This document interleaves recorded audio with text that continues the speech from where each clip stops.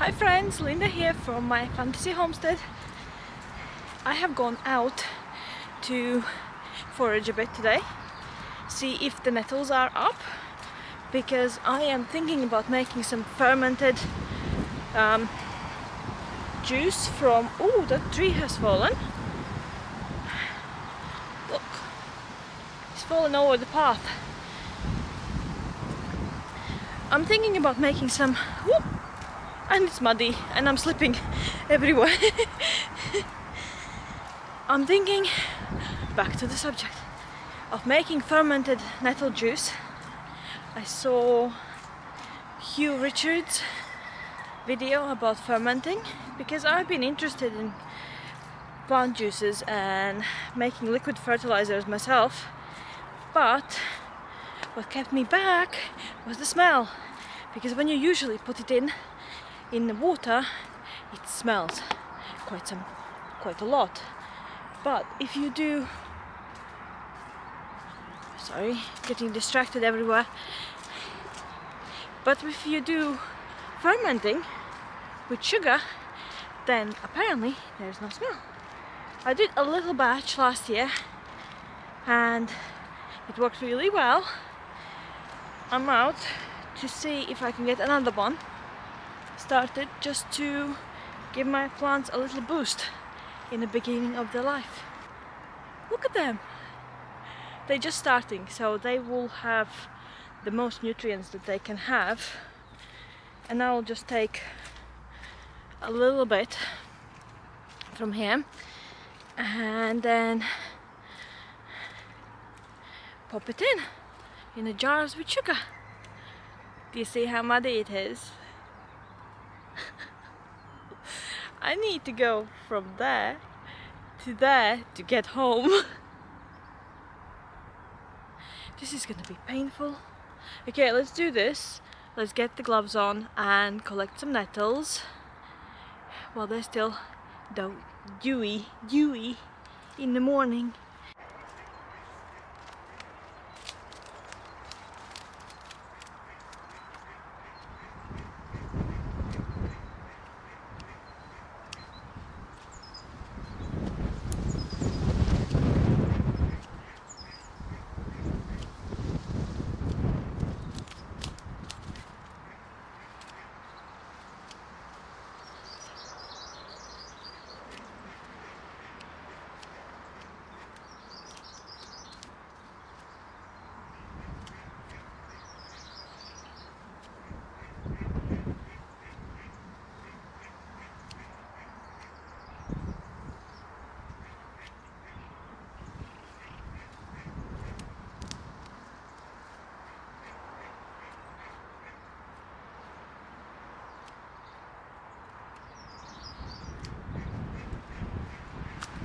Okay, I have taken my bits of stinging nettle and I have foraged and you can't even tell that I have foraged almost.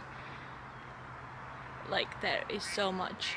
So one thing, forage respectfully and sustainably. Leave quite a lot.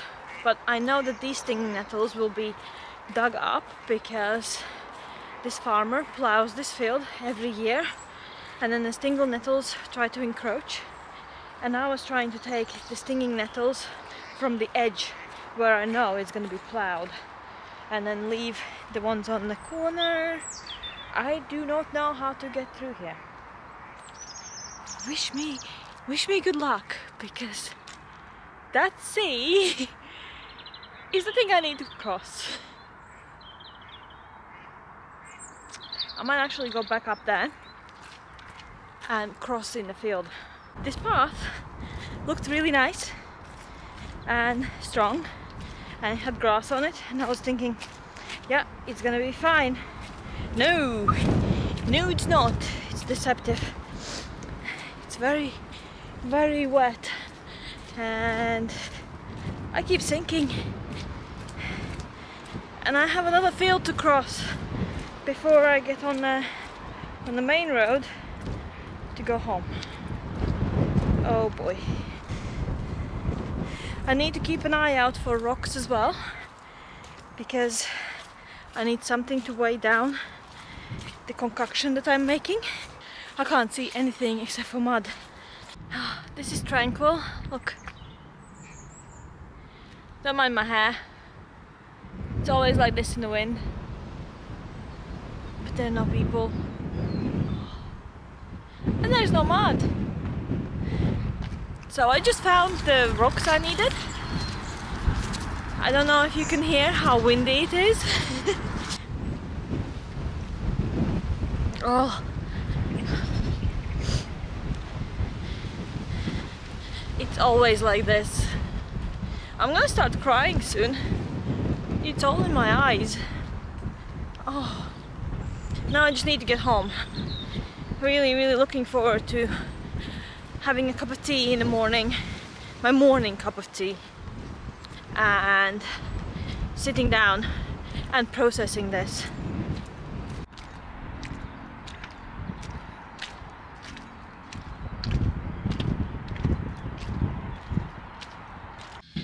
I am home now and I have prepared my bowl. I have just boiled my rocks for 15 minutes and these are my nettles, 200 grams. I need to mix them up with brown sugar in consistency to four parts nettles, three parts brown sugar.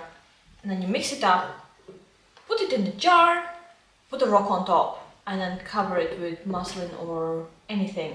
I don't have anything like that, so I'm just gonna probably use one of my dishcloths. Well, I have like cloth ones. Oh, don't run away. Oh, okay. Let's start chopping these smaller so that they can release more juice.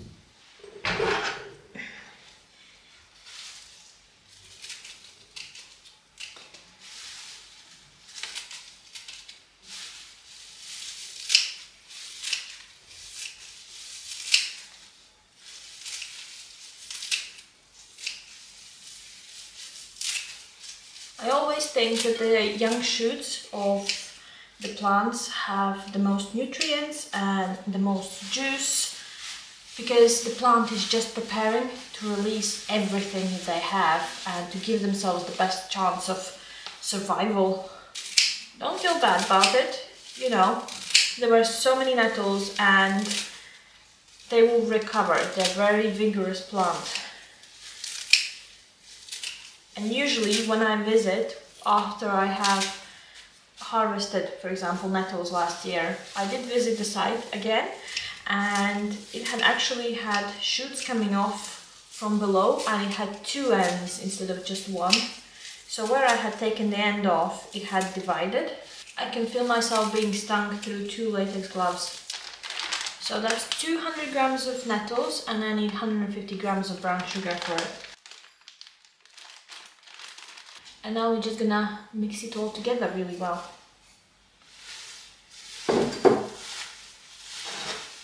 I am thinking about using this for my, my seedlings as soon as they come in.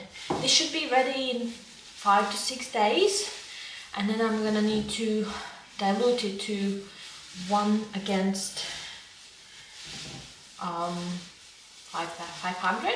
starting to get that consistency where it's like mixed together.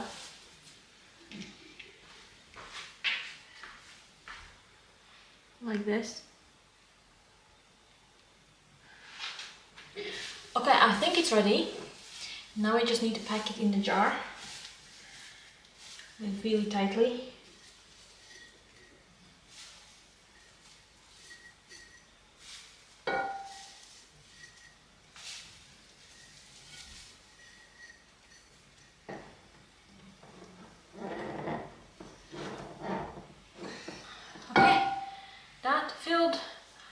Approximately half of the jar. So I'm gonna make another another lot of this for probably another 100 grams of nettles really fast.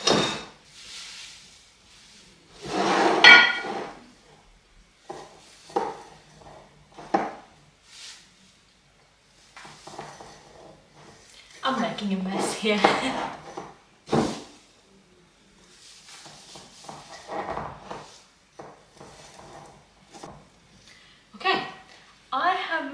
squeeze in 400 grams of nettles here with 300 grams of sugar and it fit.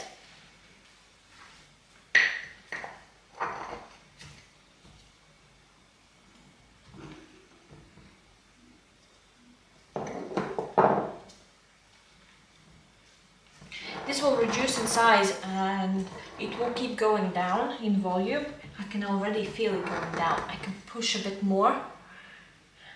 If I could get this stone in horizontally. There you go. Done. So I jammed a stone in like that and now it will just keep applying pressure and pushing it down. I think the, the, the juices will start flowing in a couple of hours. So it looks like this and it's really really nice. Thank you very much for hanging out with me today and I hope you enjoyed this one and I'll see you next time. Bye friends!